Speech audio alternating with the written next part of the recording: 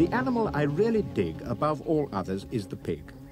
Pigs are noble, pigs are clever, pigs are courteous. However, now and then to break this rule, example, would you say if strolling through the... I like this. Come in. No, no, by the hairs on my cheek. Bad.